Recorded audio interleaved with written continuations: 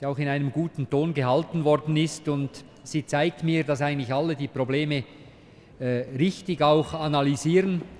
Und die Frage stellt sich jetzt einfach, welcher Weg der richtige ist, um diese Anliegen, die Sie zu Recht hier dargelegt haben, zu realisieren. Wenn sich die Gesellschaft verändert und wenn sich die Wirtschaft verändert, dann muss sich auch der Staat anpassen, dann müssen sich auch seine Organisationen und muss sich sein Handeln verändern. Und Ausdruck für diese Veränderungen sind verschiedene Vorhaben, die wir in den letzten Jahren äh, gemacht haben miteinander, die Regierungs- und Verwaltungsreform, aber eben auch, und das ist ein sehr zentraler Punkt, die Modernisierung des Personalrechts. Und weil sich eben der Staat dem Wertewandel, dem gesellschaftlichen nicht entziehen kann, muss er seine Aufgaben, seine Strukturen, aber auch die internen Abläufe eben anpassen. Wir schlagen Ihnen hier mit diesem Gesetz die Modernisierung des Personalrechts vor. Die Aktualisierung dieses Bereiches ist für das staatliche Handeln sehr wichtig, vor allem deshalb, weil es eben immer Menschen sind, die den Staat, die die Verwaltung verkörpern, repräsentieren.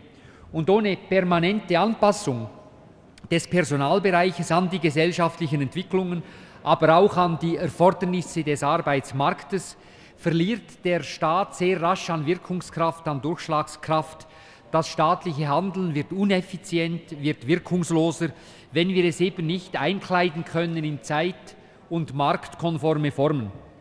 Wir können ferner das staatliche Handeln nur sichern, wenn der Staat seine Arbeitsbedingungen zeitgerecht und ohne Verzug anpassen kann, auch an die Entwicklungen des Arbeitsmarktes und der Gesellschaft überhaupt. Das Bundespersonalgesetz hält der Exekutive und den Arbeitgebern des Bundes ziemlich viel Freiraum offen. Das wollen wir und wir sind dankbar, dass das hier mehrheitlich nicht bestritten ist.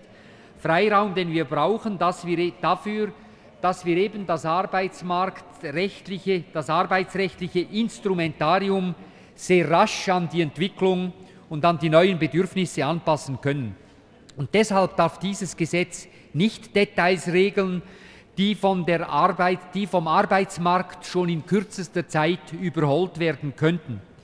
Es muss den nachgeordneten Regelungsstufen die nötigen Freiräume offen halten, weil diese sehr viel rascher angepasst werden können, damit wir eben dieses Instrument, Instrumentarium auf einem modernen Standard halten können.